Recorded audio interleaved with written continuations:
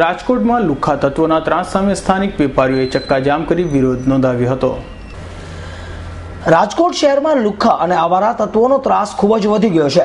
ત્યારે થોડા દિવસો પૂર્વે જ એક વેપારીને લૂંટી લેવાના ગુનામાં પકડાયેલ નામચીન ઇબ્લો ફરીથી બહાર આવીને પોતાના લખણ ઝટકાવવા લાગ્યો છે. ગઈકાલે પણ એક દલિત પરિવારના યુવાન પર છરી વડે હુમલો કરતા તેને સારવાર અર્થે હોસ્પિટલ ખસેડાયો હતો અને આ ઇબલા સહિતના હુમલાખોરો નાસી છૂટ્યા હતા.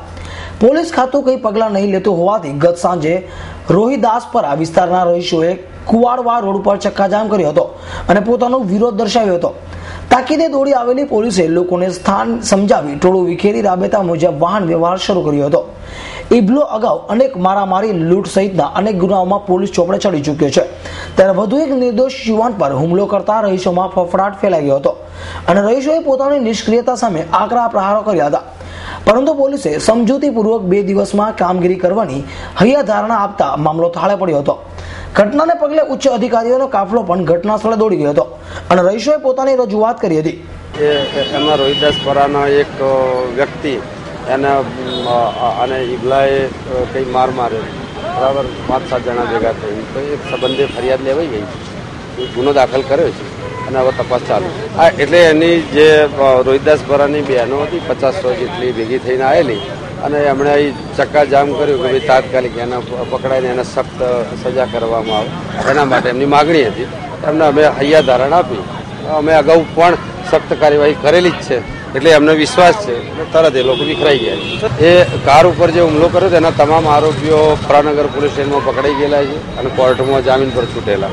અને એ વખતના જે બનાવમાં એક વ્યક્તિના હાથે ફ્રેક્ચર કર્યું હતું અને લૂંટ કરી હતી. એમાં ઇબલાને અમે એરેસ્ટ કર્યો.